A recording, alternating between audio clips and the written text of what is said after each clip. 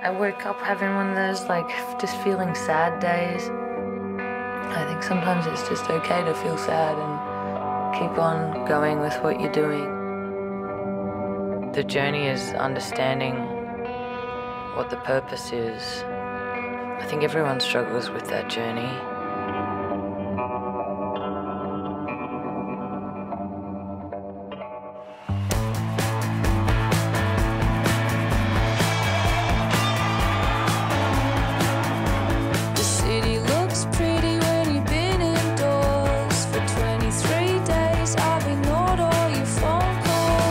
Calls. Singing about panic attacks is not something most singers like to get into. That's kind of touchy territory. How do you reflect on that? I think all of my songs are just trying to figure feelings and situations out.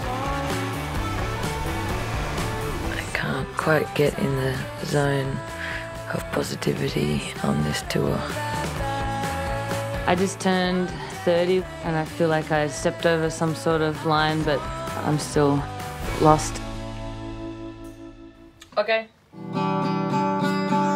Keep on keeping on, you know you're not alone. I know it's not completely bad because I'm looking forward to the next day.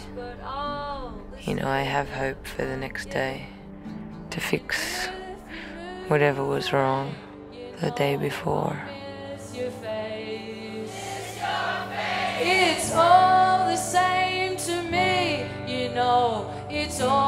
The same.